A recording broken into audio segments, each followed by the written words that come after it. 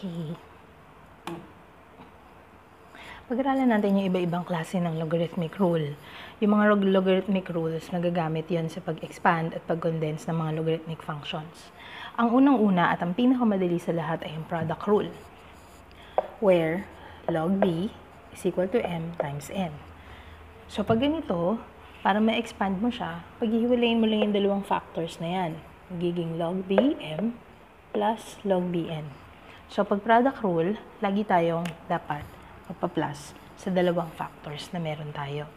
Isang example niyan ay ito, log b 3x. So, ang factors natin ay 3 at ang x. So, para ma-expand natin siya, we have to do that. Log b 3x is equal to log b 3 plus log bx. Ganun lang kasimple yung product rule.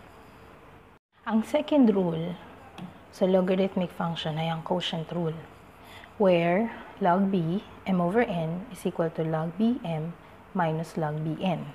So, para tayo makapag-expand, looking at yung example natin, which is log 2, x over 5, gagawin lang natin, isusubtract lang natin yung mga, ah, yung ito, yung x over 5.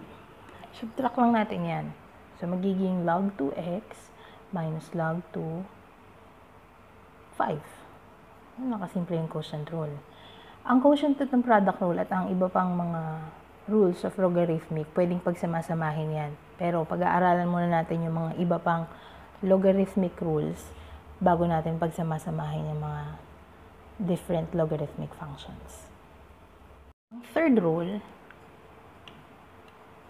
ay ang tinatawag na power rule.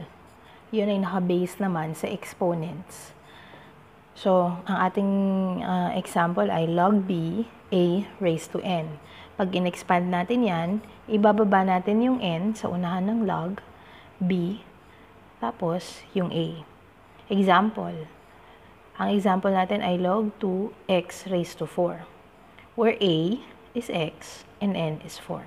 So, looking at the power rule, log ba raised to n is equal to n log ba, bababa lang natin yung exponent sa unahan. So, magiging 4 log 2 x.